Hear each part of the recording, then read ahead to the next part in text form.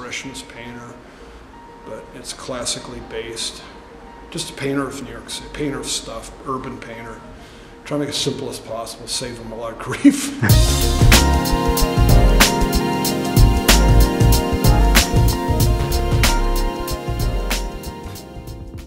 just I was a kid in the back of the room who didn't pay any attention, just drew all the time.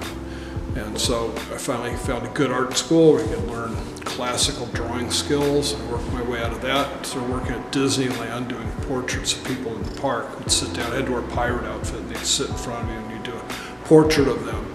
And I went to Hot Rod Magazine, I drew cars and for Motor Trend and Hot Rod, which is uh, I was really proud of that. That's a magazine I loved as a kid. And here I was in it, and I was like, wow, this is cool as. And I started working for uh, courtrooms.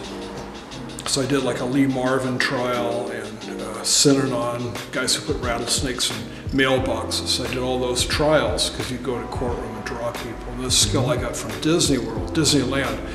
And um, just gradually worked my way up from there. I did rock posters for CBS Records for a while.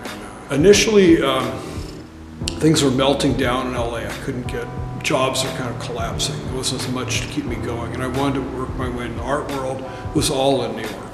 So I took an exploratory trip back, ended up in Times Square, because we didn't know where to stay. We're just, I don't know, from California, so I thought, oh, Times Square, I've heard of that. And looking out the window, and there are guys smoking cigarettes with hats on, walking along, light snow coming down, like these 30-foot shadows, you know, women getting out of cabs with high-heeled shoes. It just seemed, this is so cool, these lights flashing.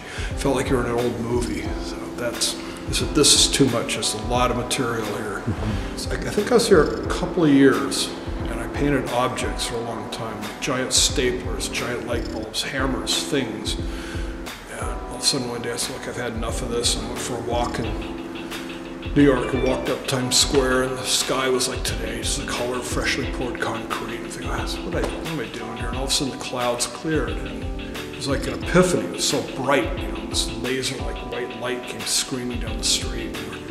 You know, the same characters, the guys from the Brill building with toupees like this and checkered suits and talking, you know, and they're running along the street, ballerinas and sweats and jeans walking the street, carting trucks and cops and kamikaze bike riders. And I said, okay, look at this. Let's go to that moment.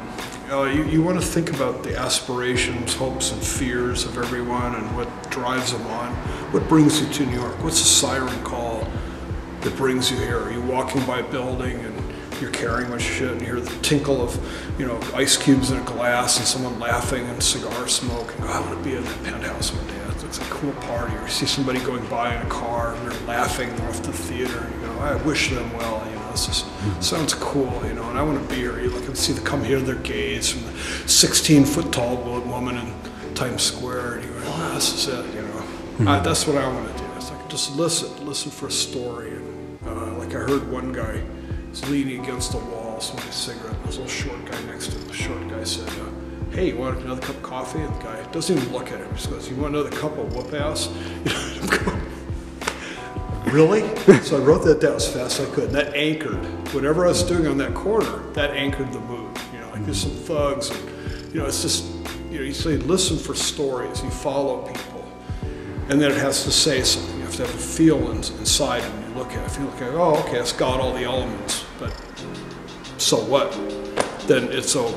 Get rid of that. Mm-hmm. One time, my son helped me. We were um, he always seems to be there when I need him, and we cut up 200 paintings with a box cutter and threw them away about 10 years ago. Moving from Long Island City, Queens up here, and I said, look, I'm just gonna save the world a lot of grief. These are not good paintings. You know, just, it's cathartic. It's like this great moment. You never set out to make a nice piece of art. And that's why I tell kids all the time. Your mom has enough stuff for their walls. You know, just don't set out to make art. Just set out to get information. You get a narrative. You get a story, and you you you try to say something you're feeling about a scene. You know, you try to capture something. Don't try to make a painting because you'll ruin it. It's like if you set out to make, oh, I'm gonna make this evocative piece of music. Mm. Trust me, you're not. Mm. You're gonna be Kenny G or Yanni or, or something. You're gonna make something that's gonna sound all right, and at the end, it's like eating a sugar donut and you wish you had. Mm-hmm. Galleries say, why don't you give me more of these paintings? Mm. We got a bike rider and a cat, and I want,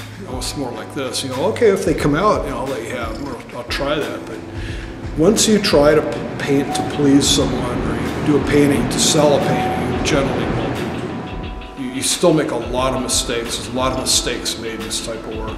Either works or doesn't. If it doesn't work, paint it over. Um, I think when you're younger, you think everything you do is just, oh, this is great. You know, I did it again. You know, and maybe you didn't. You know, you got to come back and look at it. And I think you're a little harder on yourself as you get older. You want to look at it, make sure it's right.